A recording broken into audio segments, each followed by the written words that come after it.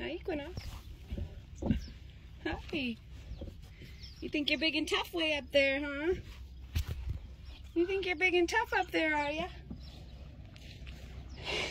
Are you? Hi. High five. High five. Yeah.